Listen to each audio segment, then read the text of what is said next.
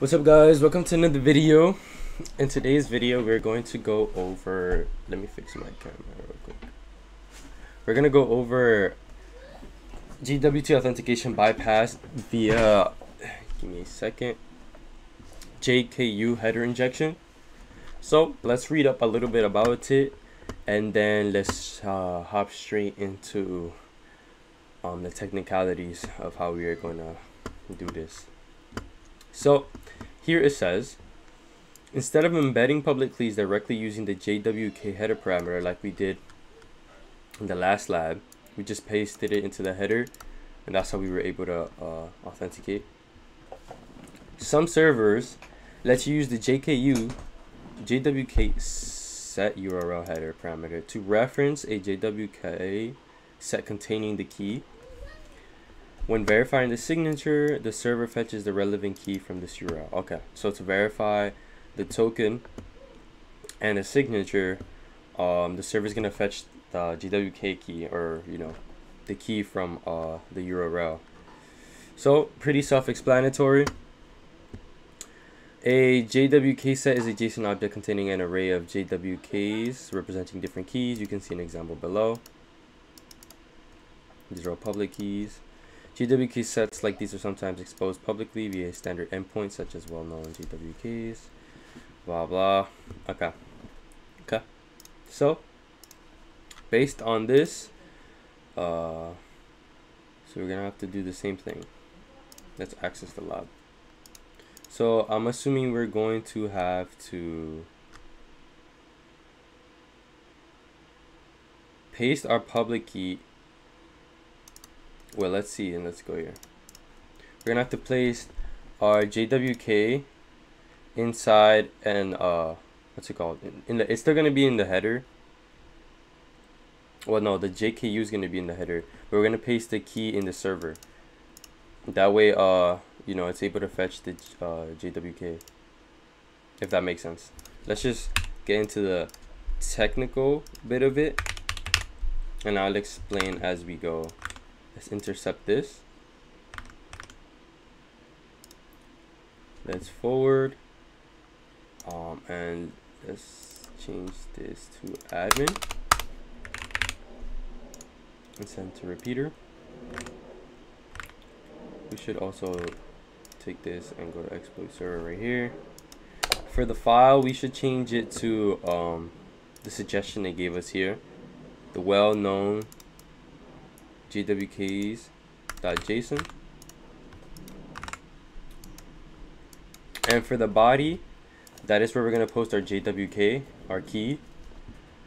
Um, if we looked at back at what we were talking about before, uh, JW key provides an embedded JSON object representing the key. So basically the key, the public key. So first, we are going to go to JWC editor keys and we're going to create a new RSA key.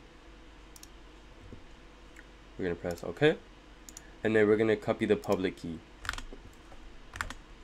So now let's go back to repeater. Go back to this extension right here.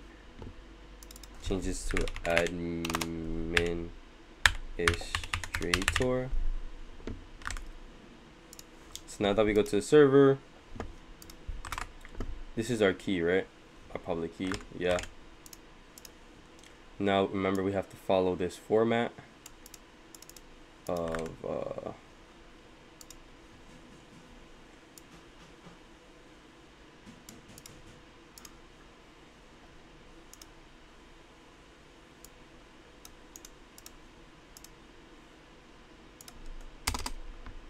let's do this keys then we have to exit out of this and then we have to add another one. That looks good. Let's store it. Now all we have to do is we have to change the KID to match the KID of the JWK the token here. I mean the key this key. So we can paste that. Then we have to specify the JKU in the header, just like this. we're gonna copy the URL completely. Paste that. And we should be good. Now let's sign it with the public key. Let's not modify the header. And send the request. And there we go. We have a 200 okay and as we see here we are administrator.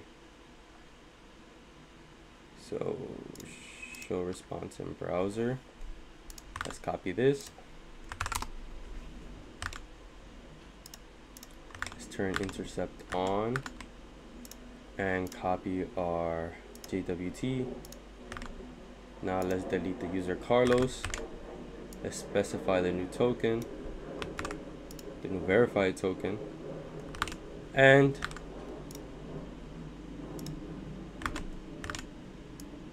let's specify here. And we are able to delete the user Carlos successfully and therefore completing the lab. So again to kind of go over this server here I mean thankfully they uh Portsugar uh they provided us with one. We were able to host the JWKs or the key, or in this case just one the JWK in this server. So the header we're just gonna uh, verify the signature by fetching the JWK from this URL so as long as the kid matches uh, and you know that the server is able to uh, host the JWK then you will be authenticated.